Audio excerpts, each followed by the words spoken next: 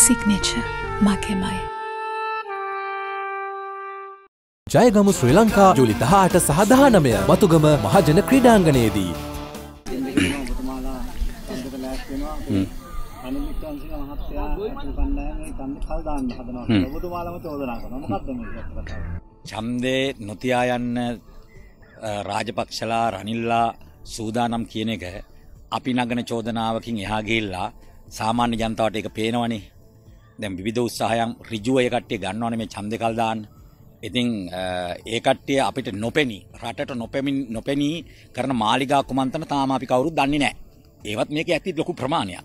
දැන් මේකේ අපි ගන්න ඕනේ එක පැත්තක් ඇයි මේ රනිල් රාජපක්ෂලා ඡන්දයක් නොතියා යන්න මහන්සි ගන්න කියලා. දැන් එයාලා දිනනවා නම් සාමාන්‍යයෙන් එයාලා ඡන්ද තියෙනවනේ.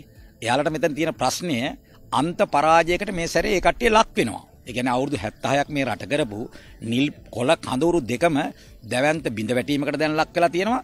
ඡන්දයක් ආවම දැවැන්ත පරාජයකට ලක් වෙනවා. ඒතර පරාජයට ලක්වීම මේ කට්ටියට දරා ගන්න බෑ එකක්. ඒතර පරාජය වීමෙන් ඒ කට්ටිය දකින්න ඊළඟට මෙන්න මෙහෙම දේවල් ටිකක්. මොකද බලයට එන්නේ ජාතික ජනබලවේගයේ නායක අනුර කුමාර දිසානායක සහෝදරයා ප්‍රමුඛ ජාතික ජනබලවේගයේ ආණ්ඩුවක්. එතකොට එවැනි ආණ්ඩුවක් ආවම අනිවාර්යයෙන්ම මේ කට්ටිය අවුරුදු 76ක් තුල කරපු හොරකම් වංචා දූෂණ. ඒ විතරක් නෙවෙයි අපරාධ සඳහා නීතිය ක්‍රියාත්මක වෙනවා කියලා මෙරට සාමාන්‍ය ජනතාව දන්නවට වඩා ඔය පාලකයෝ දන්නවා. ඉතින් පාලකයන්ට ඒ වෙලාවට මර බිය දැනෙනවා. ඈ මර බිය දැනෙනවා. ඒ බීතිය ආවට පස්සේ කට්ටිය ව්‍යාකූලත්වයට පත් වෙනවා. එහාට පනිනවා මෙහාට පනිනවා ඔහොම දේවල් වෙනවා.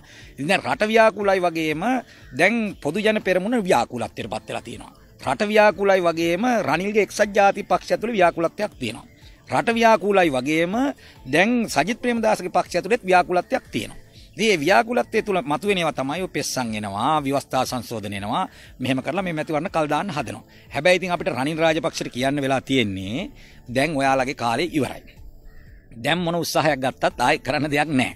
ගත්ත ගත්ත උත්සාහයෙන් ඔක්කොම අසාර්ථක වෙලා තියෙනවා. ඔයාලා දාපු පළවෙනි බැරියර් එක අපි කැඩුවා. දෙක කැඩුවා, තුන කැඩුවා, හතර කැඩුවා, ඔහොම ඇවිල්ලා තියෙන්නේ. දැන් ඡන්දේ ගාවට ඇවිල්ලා තියෙන්නේ. ඉතින් දැන් මේ අවුරුදු මේ පහද හයද කියන ප්‍රශ්නේ මම හිතනවා දැන් අහන්න දෙයක් නැහැ. ජනාධිපතිවරයාගේ කාලය දූර කාලේ පහද හයද කියන එක අහන්න දෙයක් නැත්තේ ඇයි දන්නවද? ශ්‍රේෂ්ඨාධිකරණය මේ කාරණේ මේ වෙනකොට හතර වතාවක් එක් එක් කණ්ඩායම් ගිහිලා අහලා තියෙනවා. මෛත්‍රීගේ කාලේ මෛත්‍රී ගිහිල්ලා ඇහුවා මට පහද හයද කියලා. එහෙම ආපු අවස්ථා ගන්න හතරක්. හතරෙදිම ශ්‍රේෂ්ඨාධිකාරණය දුන්නු තීන්දුව එකක්. ඒ කියන්නේ පහයි. ඉතින් එහෙම ඔක්කොම තියෙද්දි මොකටද ආයි මේක අහන්නේ? ඉඳ මේ පාලිකවර ව්‍යාකූලත්වයට පත් වුණාට පස්සේ ඇති වෙන ප්‍රශ්නේ. ඉඳ පහයි. දැන් මැතිවරණ කොමිෂන් සභාවට මේ වෙනකොට බලය ලැබිලා තියෙනවා. මැතිවරණයට අදාළ දින ප්‍රකාශ කරන්න නාම යෝජනා කැඳවන දින ප්‍රකාශ කරන්න. ඒ සඳහා මැතිවරණ කොමිෂන් සභාව පහුගිය දවස්වල මාධ්‍ය හමුවට ඇවිල්ලා ඒ කාරණේ යාලා කිව්වා.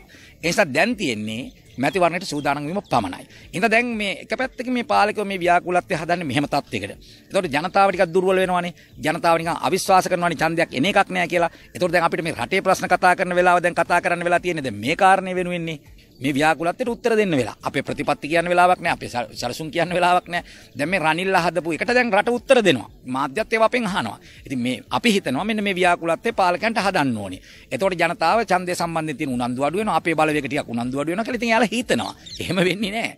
ඉතින් එහෙම හිතලා තමයි මේ ව්‍යාකූලත්වය හදන්නේ. එහෙනම් අපි රනිල්ලාට කියන්න කැමති රාජපක්ෂලාට කියන්න කැමති. ඔයාලා රට බංකොලොත් කර ආර්ථික වශයෙන් ප්‍රජාතන්ත්‍රවාදී වශයෙන් උත් දැන් බංකොලොත් කරමින් යන්නේ.